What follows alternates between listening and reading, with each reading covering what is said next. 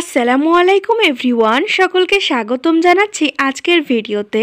আশা করছি তোমরা যে যেখানে আছো ভালো আছো, সুস্থ আছো। আমিও ভালো আছি, আলহামদুলিল্লাহ। তাহলে আজকে তোমাদের মাঝে আবারও হাতের কাজের জামা ওড়নার টু পিস নতুন একটা ডিজাইন নিয়ে চলে আসলাম। আশা করছি তোমাদের আজকের সুন্দর জামা ওড়নাটি ভালো লাগবে। তাহলে ভালো লাগলে ভিডিওটিকে লাইক করে দিবা আর আমার চ্যানেলে নতুন হইলে চ্যানেলটিকে সাবস্ক্রাইব করে দিবা। তাছাড়া তোমাদের সাথে যে সুন্দর জামা ওড়না টু পিস ডিজাইনগুলো দেখাবো, তার সাথে টিউটোরিয়ালগুলো দেখাবো, সেগুলো তোমরা মিস করে দিবা। আর হ্যাঁ যদি আমার থেকে ড্রেস নিতে চাও ডেসক্রিপশন বক্স চেক করো।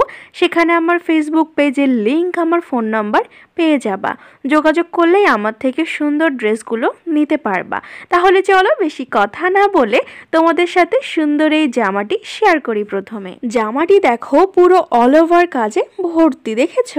এখানে আমি পাঁচ রঙের মাল্টি সুতা ব্যবহার করেছি। এখানে সুতাগুলোর কালার হচ্ছে জলপাই, সেদ্ধ জলপাই, যেগুলো দিয়ে করা হয়েছে পাতা।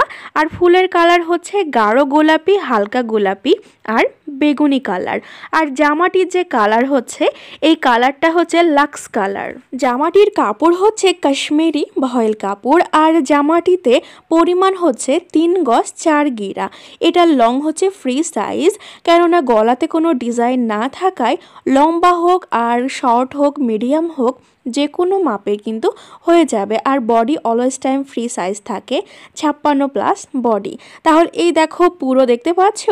আর খেয়াল করে দেখো জামাটির নিচের দিকে কিন্তু পার করা আছে চেকন করে। তোমাদের কেমন লাগল জামাটি? জানাবা কিন্তু। চেষ্টা করেছি সুন্দরভাবে করানোর, আর এইখানে গ্লেজি সুন্দরী সুতার কাজ করেছি, যাতে সুতার রংটা কখনোই না ওঠে। আর কাপড়ের রং যে উঠবে না সেটা অবশ্যই আমি শিওর দিয়ে বলে দিচ্ছি। কেননা কাপড় কোয়ালিটি যাচাই বাছাই করে দিই তো, ওই জন্য রঙ ওঠার কোনো চান্স থাকে না।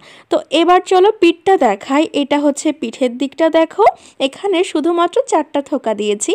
কেননা সামনে পার্টে এত বেশি দিয়েছি, পিঠে কিন্তু কম হলেই মানানসই লাগে আমার কাছে যেটা মনে হয়। এটা দেখো হাতার অংশ, হাতাতে কিন্তু মাঝারি মাপে কাজ করা আছে। খুব বেশিও না, আবার খুবও কমও না। তাহলে জামাটা তো পুরো দেখে নিয়েছো এবার চলো তোমাদের সাথে ওড়নাটি শেয়ার করি। ওড়নাটির কাপড় হচ্ছে প্রাইড কটন আর কাপড়ের রং হচ্ছে পার্পেল কালার জামাটিতে যে রঙের সুতা ব্যবহার করা হয়েছে, ওড়নাটিতেও ঠিক সেই রঙগুলো সুতায় ব্যবহার করা হয়েছে। সেম ডিজাইন কিন্তু সেম ডিজাইন হলে কিছুটা ভিন্নতা আছে। যেমন ধরো জামাটিতে অল ওভার কাজ করা ছিল, আর ওড়নাটি দেখো একটু আলাদাভাবে ডিজাইন করা হয়েছে, যাতে সুন্দর লাগে। এখানে দেখো চারিদিক দিয়ে যেমন পাড় দেওয়া আছে তারপরে আবার বর্ডার করে মিডিল দিয়ে পার দেওয়া আছে।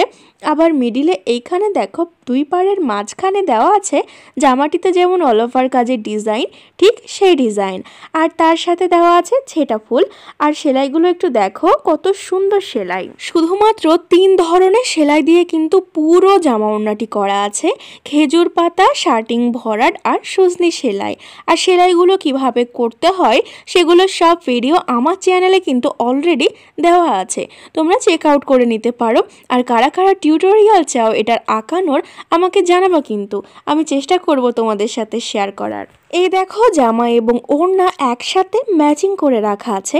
এবার বলো তো লাক্স কালার আর পার্পেল কালারের একসাথে মিশ্রিত করা জামা ওড়নাটি তোমাদের কেমন লাগছে?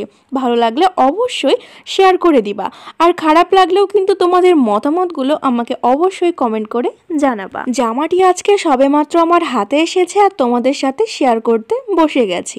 জামাটিতে কিন্তু ওয়াশ করা আয়রন করা বাকি আছে।